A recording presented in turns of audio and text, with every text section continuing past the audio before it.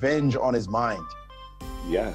Yeah, I mean, this was a this is a match where I feel like you have a Wesley who's such a great practical player with his time control. He doesn't get too wounded when he loses. He plays so quickly in every position. Um, and then the hyper precision of Fabiano, and sometimes he'll just blow you off the board in the opening. It's a real clash of styles. And include in that, Jen, just everything you said, the inc- incredible opening prep of uh, Fabiano. I mean, you know, I don't know whose prep is as good. I mean, Vishy at the time he was world champion, a phenomenal prep. Magnus, his prep could be better. Let's put it that way. I've improved. Fabiano's opening prep can just wipe a player off the board. So uh, Wesley is certainly aware of that as they've played each other quite a number of times and they're underway. That's right. And it's not just the prep, obviously. Fabiano known as potentially the best calculator in the world and also um, just such fine technique when he's in form. So sure. I'm, I'm, I'm fascinated to see who gets the upper hand on this match. You guys voted for Wesley in your predictions. I voted for Fabi, but this first game is going to tell us a lot about Fabi's form. This is a pick. Exactly. Come on, let's be real. These two are so close in strength. Well, at least if you combine strengths, if you will. I think Wesley does have the nod in rapid chess. But wait, what are we seeing here? We're seeing some serious F3? preparation. Like, what on earth is going on? Queen h4 check. Huda, huda, what? I mean, well, there's knight takes g3. So queen h4, I can't do, right? There's knight g3. Wait, no. Why not? That looks like a basic tactical. So queen h4, g3, knight takes g3, queen f2, there's knight f5. Right. Yes. So, but what's wrong with this? Fabi gone deep, deep, deep. You got to go deep into the position How? and said, "I'm going to sacrifice a pawn, yeah, an exchange, mm. and I'm going to compromise my king, trap your queen." Well, like, clearly what? in modern chess, that must be good. he must be winning. I mean, okay. of course, I say that facetiously. Queen h4 looks like an absolute boss move. Again, this is worse than Levon's A5, A4, where you would tell your student not to play that way. This is, what are you, crazy? What are you just blundering pieces? You don't know a standard tactical idea? What well, is well, this about? And he, and he, has to do it, in fact. It's not yeah. even like he has a choice. Exactly. Let me just say, set the stage on that one. There's no choice here. The knight is under attack. You don't move the knight, I take it. End of story. If you do move the knight, well, the knight gets trapped immediately after h4 under even much worse circumstances. So Wesley is is just taking a deep breath as he's saying, "Okay, my opponent has has prepared some some preparation for me, but nonetheless, I have to play Queen h4 check," and he's done it, and they've gone right down this path. Primrose instead, path, after indeed. dropping the exchange, uh, and playing king f2, my original thought, uh, actually Fabi played queen f2. And guys, um, this is some I, deep stuff. Well, is, I know that when we had Alejandro on the air most recently in the Karen's Cup, he talked a lot about prep with Bobby and prep with other great players and the difference between stockfish evals and AlphaZero evaluations and about how at the top level, or Leela rather, is that the one that the top players can use, the open source variation, not the one created by Google, AlphaZero. And that a lot of the times the top players were trying to search for inconsistencies between those two evaluations. And I gotta wonder if this is one of those examples. Because we can see by our analysis bar, which is Stockfish, by the way, that they don't like this position at all for white. I have a, right. a gut feeling that um, Fabi found some kind of discrepancy there, and that's what we're seeing on the board. I love chess. I love fairy tale chess. I love exceptions to the rule. I love sacrificing pieces for compensation. All, all well and good. But you better must, you must analyze this very deeply. Get there, and we can see that this is some deep stuff that Fabi has analyzed. Wesley knows it. One of the things about Fabi, you guys know, it's not only that he's so well prepared, is that his novelties usually have bite. Oh, he just makes, oh, I just make a different move. He makes moves and you go, you can do that? What? And right now, that's what's happening in this game. Who would have conceived of F3 as a great move in that position? F3 clearly a novelty. And Yeah. the more this position goes, the more it's looking like White has very interesting play. That's right. Right, Maurice, it's funny because Varusian in the track often tells us when moves are novelty, and sometimes we're surprised we don't know the specific theory in a line. This one, we I think we figured out that was a novelty.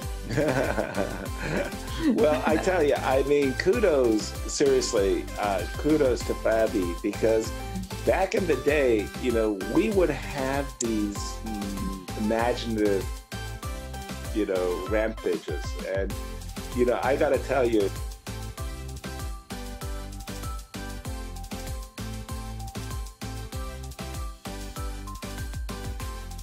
if you reached this position, you know, 20 years, 40 years ago, without the aid of computers, you'd give up the ghost. You say, ah, it's an interesting sacrifice. Probably doesn't work. Let's see some. Let, let's see the mainline stuff. But Fabi has obviously put this into his chess engine. He's worked out some remarkable uh, uh, motifs, and you can just see he's playing a la tempo. In other words, I'm telling you, he's had this board at home in his home laboratory. And you're right, Maurice. You talk about bite. This is remarkable stuff. Like, really astonishing. impressive. Really astonishing. I And- mean, I'm talking. I, I would like to save this for the World Championship match. and he's playing and he's playing instantly, guys. What do you mean? Clutch chess game one? Come on. This is where it needs to be done. but seriously, guys, um, Bishop G5. And he didn't Uh, even take the exchange back. Wesley said, You can have my rook. And Fabi said, I don't want your rook. I'm going to put my king on the same file as your queen and rook. And Just instantaneous moves, bullet chess mode from Fabiano. We know that this is something that Fabi likes to do to psychologically um, damage his opponents. This is stressful now for Wesley, seeing his opponent bang down all these moves. When he went 7-0 in the Sinquefield Cup, he said that after one of the games. I wanted to play immediately because I knew that it would rattle my opponent. And And- indeed, if you look at the clock, he started with 10 minutes. Wow. at 11 minutes. wow. They've already played 14, how many moves? 18 moves. King F2. Wow. He's gotten all the increment. He's basically just making moves a a la tempo. Bing, bing, bing. And it is Wesley who we know is super fast and is sitting now at 542 out of the opening. Fabi with double his time this quickly. And finally, Wesley has played a move that wasn't in Fabi's Fabi's actually paused to remember because this is off his beaten track. I'm Yeah. sure, I'm absolutely sure that Fabi was prepared for B6 and Bishop B7. Any natural move like that, Fabi had his answer ready. C- D5 takes C4 has actually caused him to. What about what about after Bishop takes C4 with move B5, just attempting to get some quick development in? I guess the problem is after Bishop B5, Bishop B7, then you can take on F6, and um, suddenly my rook takes F3 But- but idea. Be careful, uh, Bishop. But but those you, you don't want to turn this game around going for material. Mhm. Okay. Okay, so after Bishop B7, would you do something else? Well, Bishop B7, the, the threat. I mean, I I don't know what else to do, but Bishop F6. Maybe there's a. Oh, he's taking on D4 immediately. I think he's trying to make sure White knows that the king is weak for the long term. I, you know what I like about your B5? It reminds me of a game, Anand Mamedyarov. Is it Zagreb? By the way, Maurice, we have something And very similar. played. Yes, he's he has taken, taken and he's played taken on B5. D4 But do and then B5. That's the same thing Mamedyarov did in a game where he was getting killed by Anand. We were like, ooh, Anand, Anand, Anand. Hmm. And then Mamedyarov went, you know what? I'm just gonna play B5. It's a sack, and I'm gonna go for play. Well, yeah, I, I got the idea because um, Yaz was saying B6, and it's like, well, time is of essence, guys. That's right. Let's get it going. Chop, chop. Right. No, just simple development. And I think Wesley was happy to see this happen because now he gets his play against the king on F2. And look at Fabi now slow down dramatically. The other game has begun, by the way. We have Uh huh. similar.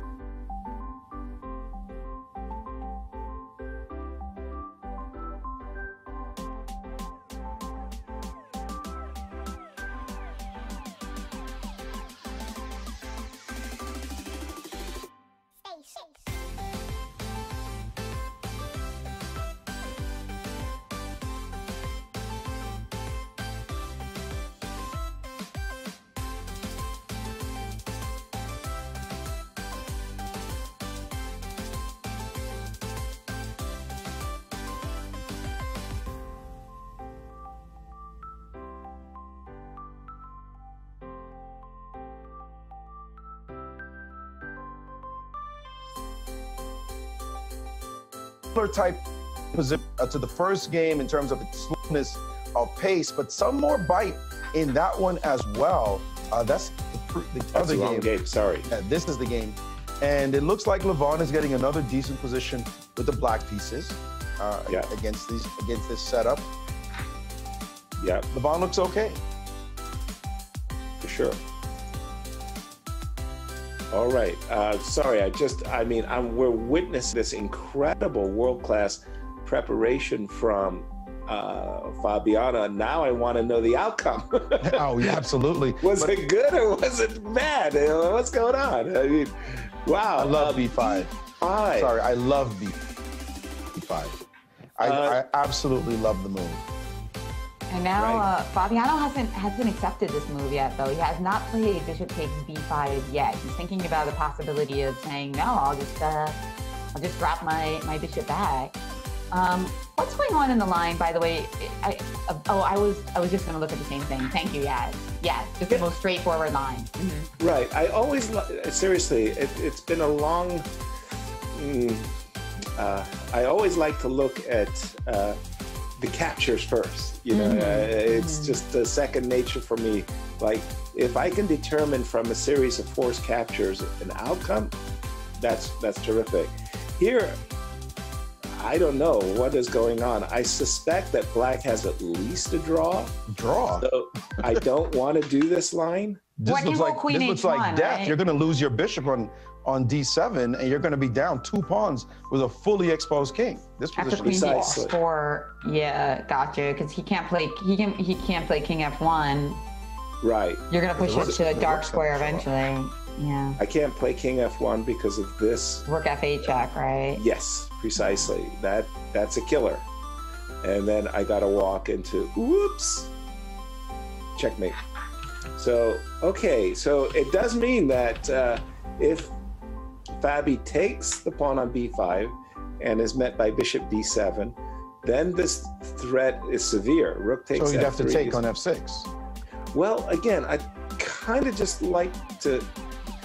I mean, the rook still isn't going anywhere. Like I could drop back and say, okay, now I'm waiting for you to play. You know, Okay, so I play it for F8. yeah. And let's see. Again, I just. Uh, I've got that covered. As long as this, uh, the moment you play E5, then you're looking to escape with the Where rook. do you have it covered? Takes on F3, rook takes 3, or something takes F3 and then just take again? Takes F3, takes again. Okay. You just give up the exchange. That is good. True. That that looks really good for for black. So that does mean unfor- how unfortunate. Okay, which brings us back to the current situation. Let's defer. Let's decline to um, capture on B5. Okay, so essentially it means that you did win the B5 move for, for free. Like that's a really big tempo, right? Mm-hmm. And rook F8 again? Rook F8. I really want to make this work. If you crash through once more on F3, We're crashing. you're you're we are crashing the vehicle, and it's going to be a tank when it hits Uh, F3. Uh, Which way do you capture by the way? Rook takes. Rook takes. Okay, just a sec. We're not giving you a Rook chance to take on F6. Okay, so there's a pawn going to be hanging, so I could. Well, here I'll tell you. Just what's what's going through my mind is some position where I get two pieces, but I just saw. Whoops. Mm. That's hurtful, and probably you also have other moves that are equally hurtful. Oh, here I have bishop f6. Fabi did capture uh, on B5 after a After- long thing. Yeah. And then and then check this out. He, of course, Bishop B7 came instantly, and he's back to a long think. And this is the worst feeling. I don't know if it's happened to you, Yaz. It's happened to me. And you know what would happen to me against? One Victor Korchnoi. Ouch. I blitzed out my prep against him, just blitzed it out. Bing, Right. bing, bing, bing, bing. And Victor sat there, he walked into it. Mm-mm. He walks completely into my preparation.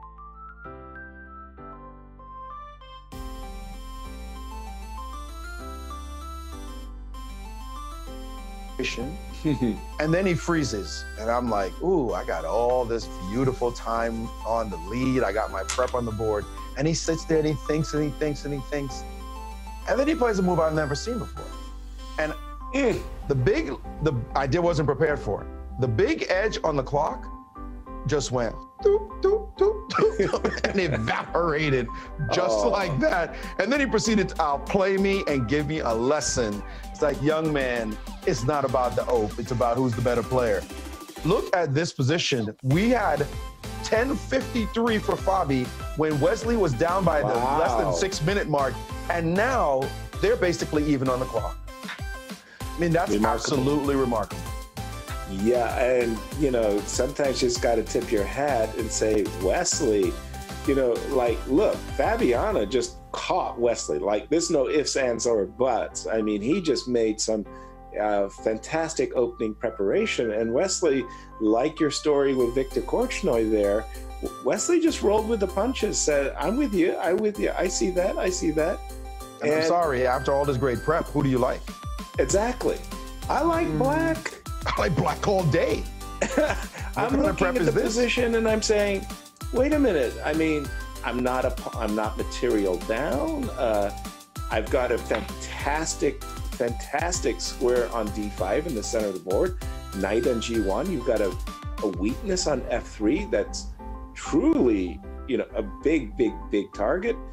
Uh, King differential. Not, well, King differential as well, and he's he's decided he's got such a good position that it, we were talking about king differential, and he said, I'm going to play h5. Right. Really a nice move. I, I love this move because it basically says, hey, look, if you want to take on h5, give me a tempo on your queen, oh, expose no, your king. I, I agree. And if you and if you want to play g5 and allow me, you know, to come in and pay you some visit with knight to e3 or knight to f4.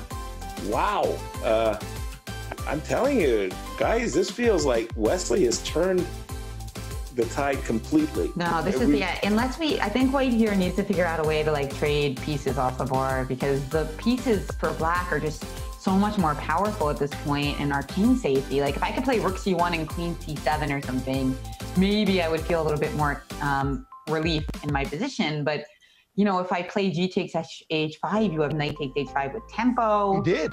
He did. At least wow. playing on the board, he actually took and played Queen G4. How mm-hmm. can this be anything but fabulous for Wesley? Exactly. This got that just... one sliver of a board on F3. Brutal when you actually use no. fabulous to determine, um, to describe um, Fabi's opponent's position. That's never fun, right? Because we usually use that adjective for Fabi. Right. Well, let's start with the obvious. Uh, the knight on h5 centralizes itself with a check. Oh, knight yeah. f4 check. Played. Incredibly powerful knight in the middle of the board. By the way, I agree that the queen and rook uh, power along the files are uh, limited now. And I start looking to, you know, uh, play a move like e5 uh, so that I could open up my queen, um, take this pawn. I queen f6. You're trying to get into that like second rank. Another idea is just to play rook c8, try to play rook c2 check. If you start invading with your majors or your tanks on the second row, or queen a7, like yeah. Queen, queen, no, queen c7, same move, but right. queens mm-hmm. will be mm-hmm. mate when it happens, like some kind of Matutski. I, I really like that move as well, uh, Maurice, because uh, it, it, actually carries two really powerful punches. So you're threatening queen b6 with a double attack against mm-hmm. the bishop. And yes, I do want to capture the pawn on d4, but also queen c2. So uh, this looks terrible. I mean, oh, and Wesley played the first move Your first in my head, mm-hmm. which is like, you know, you just you just want to get your queen in the game. By the way, e5, in my view, is also coming with also another.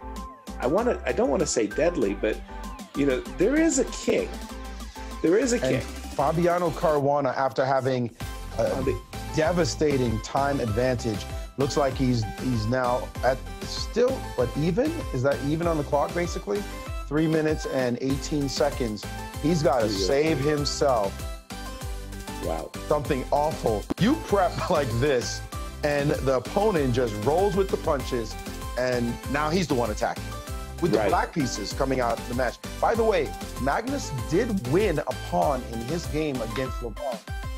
And we're looking at a position where his queen is slightly offside. It- but he is a pawn up. he is a pawn up. Levon looking to trade even more pieces.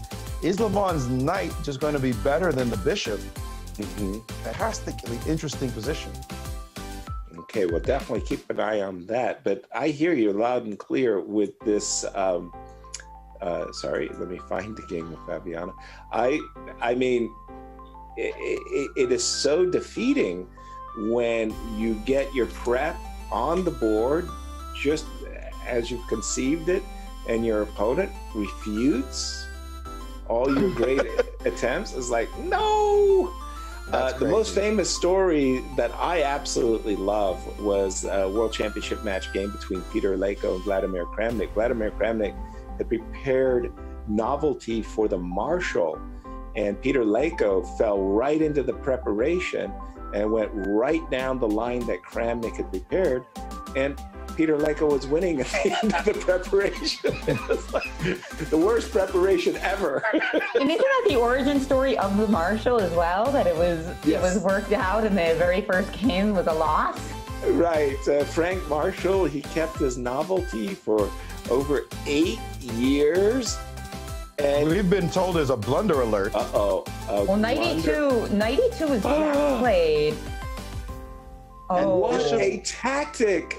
And what Bishop. F3 Yeah. will be winning, and he's and it done has been played. and it's It because has- now we Oh, have My word. now we just have what what what what discovery is good here? Any Nike. discovery is good. God, any any that's not good. That's Take really my bad pick. news. But let's let's pick one. Oh my goodness. Where are you Queen gonna go? Queen is going to show up on F2. Okay, well, And actually, this is not even a game. And he's played Queen B3 check. He hasn't even picked one of the discoveries, guys. Oh Um, no. As now, um, King to F2 is Oh. the only escape square. Well, okay, E4 as well. But um, It if King matter. F2, let's see. Um, we could just even play something simple like Knight E2 check, Bishop ta- que- King yeah. takes E2 and Queen B2 and just win all your pieces, right? Uh, just be a little careful. There is a queen takes g6 check, right? Okay, so we, oh, we have to no, take but your. where am I going with my king? King d3. I lose a piece with check. Oh, that's But terrible. you could have also taken the bishop with check immediately and be up a pawn. Oh, Yeah, exactly. and that's, and then ask your king, where are you going? Because I can always fix my position. I can always defend G6 at some point, but woof, look at this attack. and after King F2, there's probably also just some mate as well with like a discovered attack. Yep. So he did play King F2, by the way. So we'll find out. Is there a better move than Knight takes E2 that just leads to a mate? Like, I I, I don't see like Knight I wouldn't be H3 surprised. I. I wouldn't be surprised, Jen. Oh, sorry, wh- wh- which move did you suggest? Um, like Knight D3 or Knight H3. Let's see. One of the double checks. I don't want to block my queen off. That's why I was thinking H3, so I still had access to like the E3 square and everything. I bet money he took Um, on E2. Well, he did I play. He would've didn't lost do none of. Yes, he didn't took- do. He took but- on B5. I thought Wesley would play simple chess, but okay, simple chess indeed. He still took on B5. That's simple chess. Exactly. That's pretty simple too. Keeping keeping the pressure up. Except Um, King E1. King E1. King ma- E1, now threatening to take on F4. Mhm, Right. and then take Again, Queen G6. takes G6 is keeping white hopes alive. But black's actually up material here. That's how sick it is. I mean, you're not only um, No. Yes. you're not really? only ahead in Oh, no. every piece being more powerful than your opponents, but you even have one extra pawn. Yeah, How that that must be music to your ear. oh yeah. Did you see the way I- Yasser evaluated the position and just was like, okay, that means you're losing.